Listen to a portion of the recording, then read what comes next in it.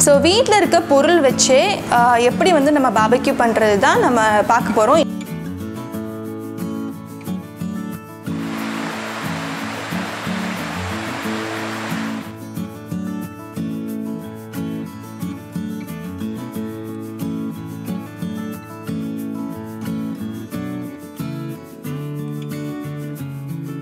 hello friends welcome to Jora's kitchen இன்னைக்கு வந்து ஒரு சூப்பரான ஒரு ப்ளாக் பார்க்க போகிறீங்க என்னென்னா லாங் வீக்கெண்டு இந்த வீக் ஸோ ஒரு பிக்னிக் ஸ்பாட் போகலான்னு ஒரு ஐடியா பண்ணி வச்சுருக்கோம். அங்கே வந்து ஸ்பெஷலாக கொஞ்சம் டிஷ்ஷஸ் பண்ணலான்னு பிளான் பண்ணியிருக்கோம் அதுக்கு தேவையான திங்ஸ் தான் நான் இன்றைக்கி வாங்க போகிறேன் ஸோ அந்த ஷாப்பிங்க்கு நான் உங்களையும் கூட்டிகிட்டு போகிறேன் ஸோ இங்கேருந்து மிட் வேலி மாலில் ஏஸ் ஹார்ட்வேர்ஸ்க்கு வந்துட்டோம். உள்ளே போய் பார்க்கலாம். அலோவ் பண்ணுறான்னு என்னன்னு தெரியல. நேற்று ஷாப்பிங் போயிட்டு வந்துட்டோம். ரொம்ப லேட்டானதுனால எனக்கு உடனே ஷூட் பண்ண முடியல. ஸோ வெளிச்சத்தில் ஷூட் பண்ணலான்னு சொல்லி நான் எல்லாமே தேவையான திங்ஸ்லாம் அரேஞ்ச் பண்ணி வச்சுருக்கேன். பாபக்யூ செட் வெளியில் போய் நாங்கள் ஷூட் பண்ணலான்னு ஒரு ஐடியா வச்சுருக்கோம். ஸோ அதுக்கான தேவையான திங்ஸ் தான் வாங்கி வச்சுருக்கோம்.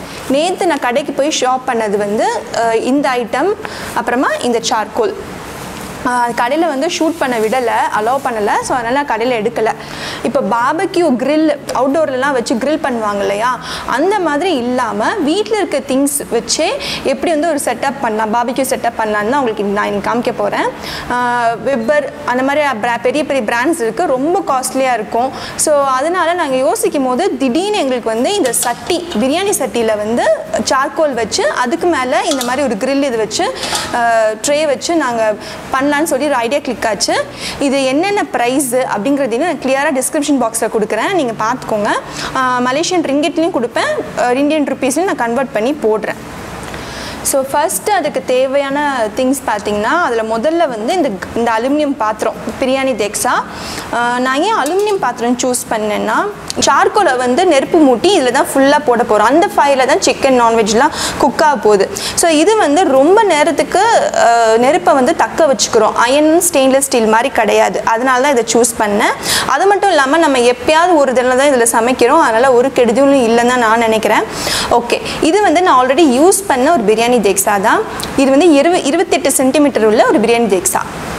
அது போக நான் வந்து இந்த கிரில் ட்ரே இது எல்லார் வீட்லேயும் அவன்லையும் சும்மா கிடக்கும். ஸோ அது தான் எடுத்துக்க வச்சுக்கேன். இது மேலே வந்து நம்ம இது செட் பண்ண போகிறோம் இப்படி. ஸோ இது மேலே தான் நான்வெஜ் வைக்க போகிறோம் இப்போ மேலே நம்ம வந்து நான்வெஜ் வச்சுட்டு ஹீட்டை வந்து சஸ்டெயின் பண்ணுறதுக்கு இந்த மூடி வாங்கினேன். இந்த மாதிரி டோம் உள்ள மூடியாக வாங்கிக்கோங்க. மேலே ஹேண்டில் வச்சுருக்கிறது மாதிரி. ஸோ இதுதான் பேசிக் நம்மளோட செட்டப் இப்போ இதுக்கு அடுத்த தேவையான முக்கியமான ஒரு பொருளை பார்க்கலாம். ஸோ கங்கு வந்து ரெடி பண்ணுறதுக்கு நம்மளுக்கு முக்கியமான ரெண்டு பொருள் தேவை. இது வந்து ஒரிஜினல் சார்கோல் நம்ம மர மரக்கட்டை இருக்குல்ல அதுதான் இது. இது வந்து கோக்னட் ஷெல் ப்ராசஸ்டு சார்கோல் இதுக்கு ரெண்டுத்துக்கு உள்ள டிஃப்ரென்ஸ் வந்து நாங்கள் குக்கிங் ஸ்பாட் போகும்போது உங்களுக்கு நான் டிஃப்ரென்ஸ் என் ஹஸ்பண்ட் சொல்லுவார். ஸோ அந்த சார்கோலை வந்து நம்ம எப்படி பற்ற வைப்போம்? இந்த மாதிரி ஒரு ஸ்டார்டர் இருக்குது இது வேறு ஒன்றுமே கிடையாது. நிறைய பேப்பர்ஸை வந்து இந்த மாதிரி கம்ப்ரெஸ் பண்ணி வச்சுருக்காங்க. இது நம்ம தீப்பெட்டி இல்லைனாக்கா லைட்டர் வச்சு பற்ற வச்சோம்னா இது பற்றிக்கிறோம் இது கூட அவசியம் இல்லைன்னு தான் நான் சொல்லுவேன். ஏன்னா பேப்பர் வச்சு நம்ம பற்ற வச்சுக்கலாம். ஒரு எமர்ஜென்சிக்கு தான் ஐ மீன் பற்ற வைக்க முடியாமல் போயிடுச்சுன்னா என்ன பண்ணுறதுனால தான் இது வாங்கினேன். இது போக உங்களுக்கு பிரிக்ஸ் வேணும். அதை நான் நாளைக்கு காமிக்கிறேன். இன்னும் வாங்கலை அது மட்டும். அடுத்து நம்ம கிரில் பண்ண மெயின் பார்ட்டு ட்ரெய்லர்லாம் பார்த்தாச்சு. இப்போ மெயின் பிக்சருக்கு வரலாம். நம்மளோட கிரில் பார்ட் பண்ணுறதுக்கு ஸோ நான் வந்து இது மூணுமே ஒரு செட்டு வாங்கினேன். ஒரு செட்டாக இருந்தது இது மூணுமே. ஸோ இது ரொம்ப சீப்பாக இருந்தது அந்த கடையில். எனக்கே ரொம்ப ஆச்சரியமாக இருந்தது. ஸோ நான் என்னென்னு சொல்லிடுறேன். இந்த டாங்ஸ் நல்லா பெருசாக இருக்குது சார்கோலை வந்து நம்ம திருப்பி போடுறதுக்கு சரி பண்ணுறதுக்கு இந்த டாங்ஸ் நல்லா நீளமாக பெருசாக இருக்குது அது போக இது வந்து நம்ம சிக்கன்லாம் ஃபிஷ் கிரில் ஃபிஷ் இதெல்லாம் திருப்பி போடுறதுக்காக ஒரு திருப்பி கரண்டி தோசை கரண்டி மாதிரி இருக்குது அப்புறம் நம்ம வந்து மேலே ப்ரஷ் பண்ணுவோம்ல ஆயில்னா பட்டர் வச்சு அந்த ப்ரஷ் ஒன்று இது மூணும் செட்டாக கிடச்சிது. அது போக இந்த மாதிரி ஸ்கியூவர்ஸ் வாங்கினேன். ஃபயர் ஸ்டார்டர் பற்ற வைக்கிறதுக்கு ஒரு லைட்டர் ஒன்று எக்ஸ்ட்ரா வாங்கினேன். சிக்கன் ஃபிஷ் எடுத்துகிட்டு போகிறதுக்கு ரெண்டு ஃபாயில் ட்ரே வாங்கினேன். அவ்வளோதான் அந்த கடையில் வந்து நான் இதெல்லாம் மட்டும்தான் வாங்கினேன். ஓகே இப்போ இது போக வீட்டிலேருந்து இருந்து நான் என்னென்ன எடுத்துகிட்டு போகிறேன்னா இந்த மாதிரி ஒரு பெரிய அரிக்கரண்டி. இது நான் வந்து அரிக்கரண்டி தான் சொல்லுவேன். பிரியாணிக்குலாம் நம்ம வச்சு கிண்டுவோம் இல்லையா? அந்த கரண்டி. கொஞ்சம் நல்லா கனமாக இருக்குது இது வந்து என்கிட்ட முதல்ல இருந்தது வீட்டில் அதனால எடுத்திருக்கேன். உங்கள் வீட்டில் எனி ஸ்ட்ராங் ஸ்பேச்சுலாக இருந்தால் நீங்கள் எடுத்துக்கலாம். அது கூட இன்னொரு சின்ன ஒன்று எடுத்து வச்சுருக்கேன். இது ரெண்டும் எதுக்குன்னா சார்கோலில் வந்து அள்ளி போடுறதுக்கு. அதுக்கப்புறமா எக்ஸ்ட்ரா ஒரு டாங்ஸ் இது வந்து ஃபிஷ்ஷு சிக்கன்லாம் திருப்பி போடுறதுக்கு. ரொம்ப சூடாக இருக்கும். அதெல்லாம் க்ளவுஸ் கண்டிப்பாக எடுத்துக்கோங்க. இது போக டிஷ்யூ பேப்பர் பேப்பர் அதுக்கப்புறமா நிறைய துணி எடுத்துக்கோங்க. ஏன்னா ரொம்ப அனலாக நெருப்பாக இருக்கும் அதுக்காக. ஸோ இதுதான் பேசிக் நீட்ஸ் ஃபார் பாபக்யூ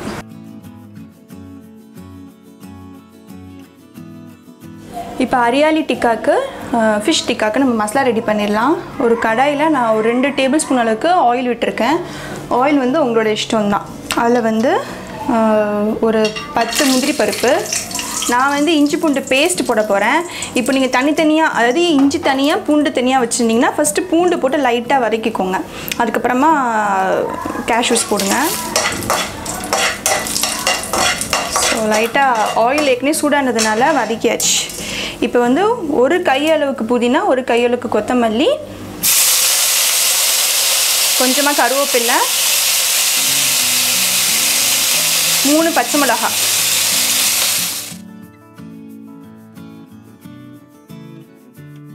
இப்போ வந்து ஒரு டீஸ்பூன் அளவுக்கு நான் இஞ்சி பூண்டு பேஸ்ட் சேர்த்துக்கிறேன்.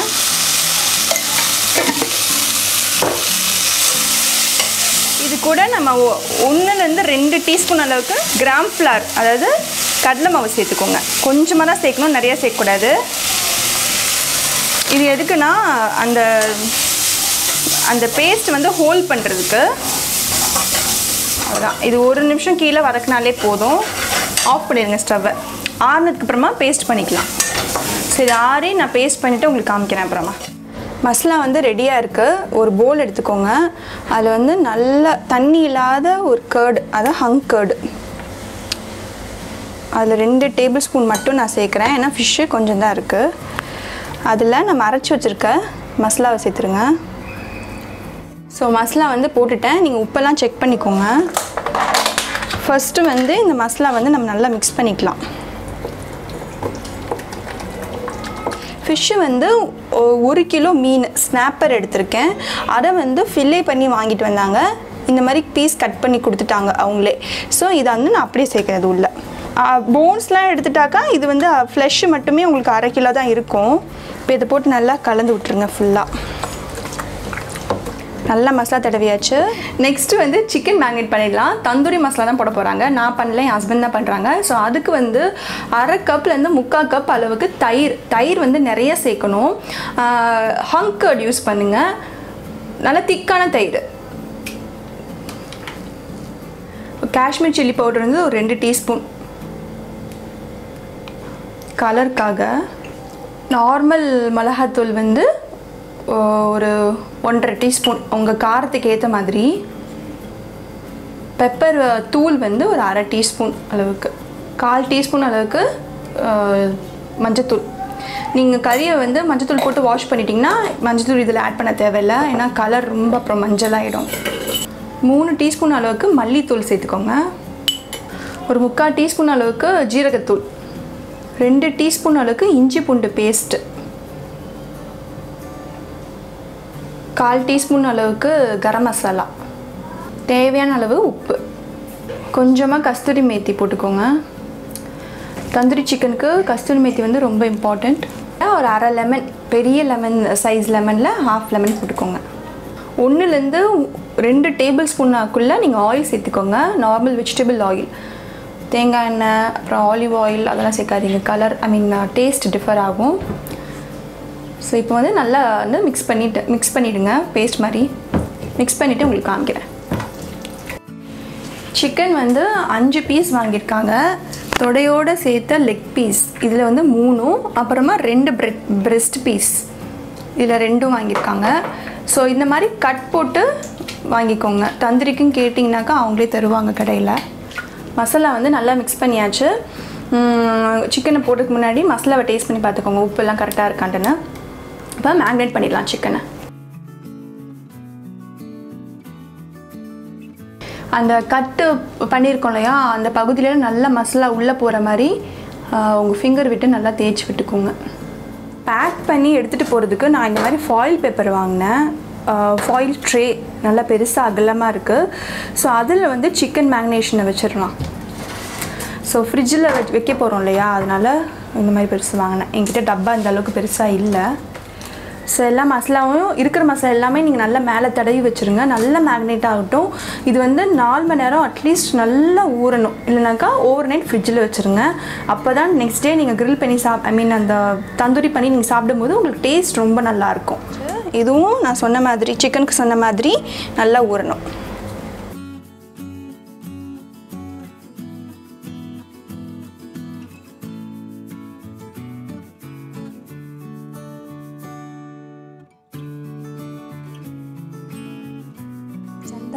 அப்படின்னு சொல்லிட்டு ஒரு சின்ன கிராமம். அங்கே வந்து சாண்டாய் ரிவர்ஸ் சைடு அப்படின்னு சொல்லிட்டு ஒரு இடத்துக்கு தான் வந்திருக்கோம். இங்கே பார்த்தீங்கன்னா நிறைய பேர் கேம்ப் போட்டு ரெண்டு மூணு நாள் ஸ்டே பண்ணுவாங்க. சில பேர் ஒரு நாள் ஸ்டே பண்ணிட்டு போவாங்க. நாங்கள் வந்து ஒன் டே ட்ரிப் மாதிரி தான் வந்திருக்கோம்.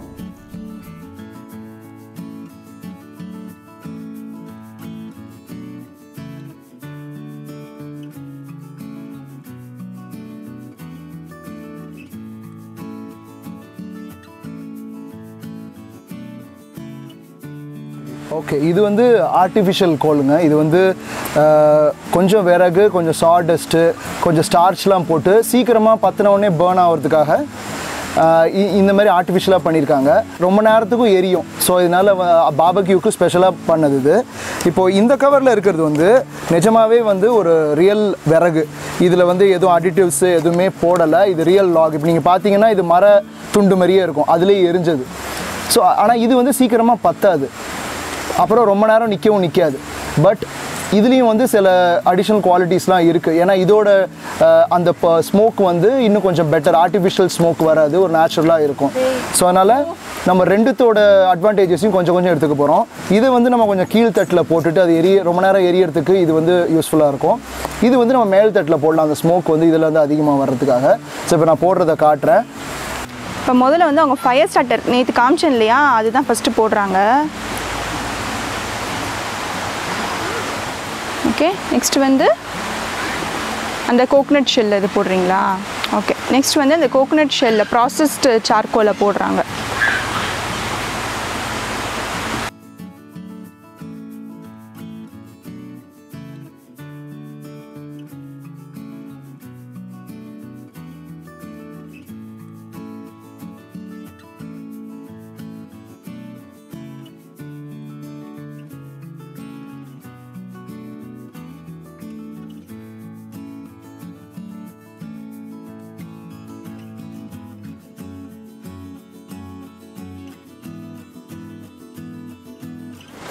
இப்போ மேலே வந்து அவங்க அந்த ஒரிஜினல் சார்கோலில் போடுறாங்க. லம்ப் சார்கோலில்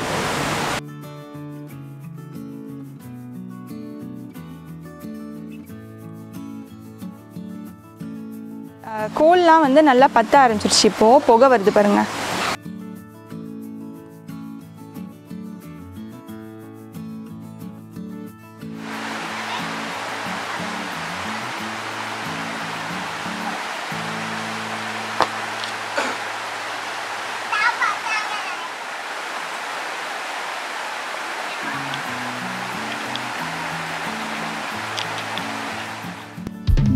ஆரம்பத்தில் நெருப்பு மூட்டுறதுக்கு ஒன்று நியூஸ் பேப்பர் இல்லைனாக்கா டிஷ்யூ பேப்பர் ரெண்டே போதும். நான் முதல்ல காமிச்ச மாதிரி ஃபயர் ஸ்டார்டர் அவ்வளோ பெருசாக யூஸ் ஆகலை. ஆ தண்ணி உள்ள காலவை லெஃப்ட்ல வந்து தண்ணி உள்ள காலவை ஆ. ஆ சூப்பர் பத்தியா அண்ணாவே போயிட்டா?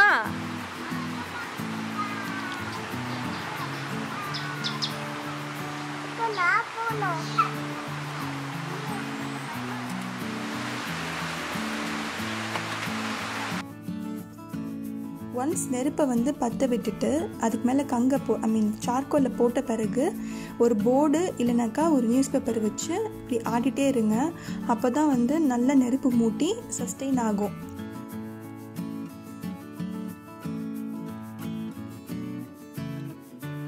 ஒரு வழியாக ஒன் ஹவர் ஆச்சு எங்களுக்கு.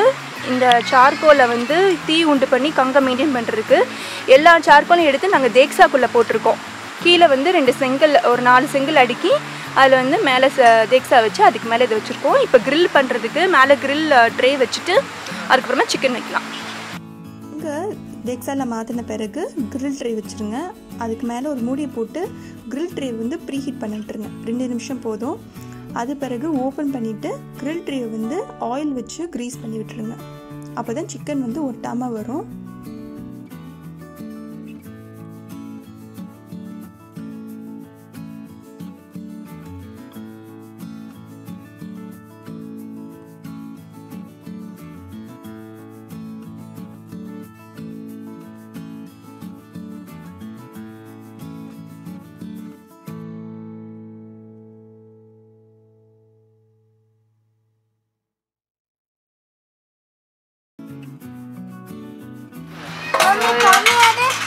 சிக்கன் அங்கே ரெடி ஆயிட்டு இருக்கு இப்போ ஃபிஷ்ஷை வந்து நம்ம ஸ்கியூவரில் வந்து இது பண்ணிடலாம். இந்த மாதிரி ஃபிஷ்ஷை வந்து மடக்கிட்டு இப்படி உள்ள இன்சர்ட் பண்ணுங்க. அப்போ தான் நிற்கும் நல்லா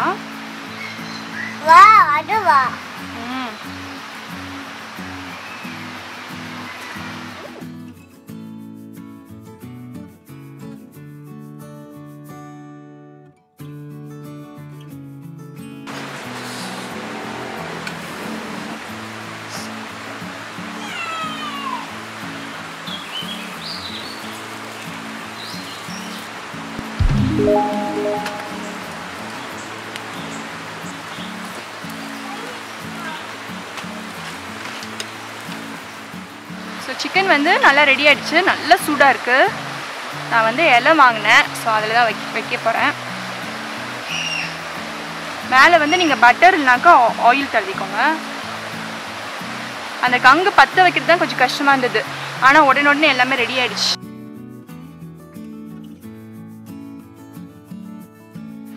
ஃபிஷ்ஷு வந்து ரொம்ப சாஃப்டாக இருக்குது அதனால் இங்கெல்லாம் பிஞ்சிட்டு வந்துருக்கு லைட்டாக இதுக்கும் நான் வந்து லைட்டாக ஆயில் தருவேன். ஃபிஷ் வந்து நல்லா நீங்கள் வஞ்சனமாக பார்த்து நல்லா தடி பீஸாக வாங்கி க்ரில் பண்ணுங்கள் அப்போ தான் உங்களுக்கு உடையாமல் வரும். நாங்கள் போன இதுக்கு எங்களுக்கு வந்து வஞ்சன மீன் கிடைக்கல. இதனால் ஸ்னாப்பர் வாங்கிட்டு வந்தாங்க. அது ரொம்ப சாஃப்டாக இருக்கனால திருப்பி போடும் போதுலாம் கஷ்டமாக இருந்துச்சு. அதனால் தடி பீஸாக வஞ்சனம் தான் பெஸ்ட்டு என்னை கேட்க போனால் நல்லா பெரிய பீஸாக போட்டு வாங்குங்க. அப்போ தான் உங்களுக்கு நல்லா ஈஸியாக இருக்கும்.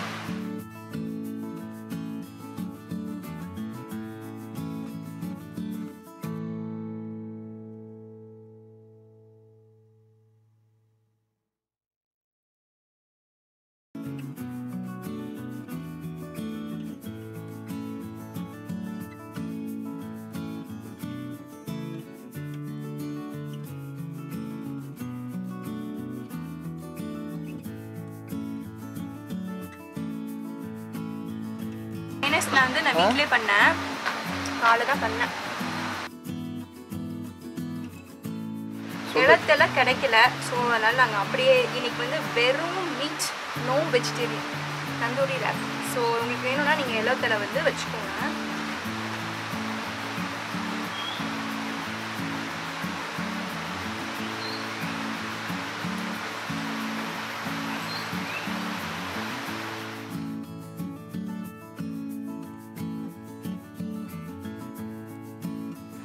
தந்தூரி பிளாட்டர் சூப்பராக ரெடி ஆகிடுச்சு நாங்கள் இப்படியே இந்த அருவியை பார்த்துட்டே அப்படியே நாங்கள் என்ஜாய் பண்ண போகிறோம் சாப்பிட்டுட்டு. ஸோ நீங்களும் இதே மாதிரி உங்கள் ஃபேமிலியோட என்ஜாய் பண்ணுங்கள் கண்டிப்பாக இந்த ரெசிபீஸ்லாம் உங்கள் வீட்டில் ட்ரை பண்ணி பாருங்கள் ட்ரை பண்ணி பார்த்து கண்டிப்பாக சொல்லுங்கள் நான் இன்னொரு வீடியோவில் உங்கள் எல்லோரும் சந்திக்கிறேன். பாய்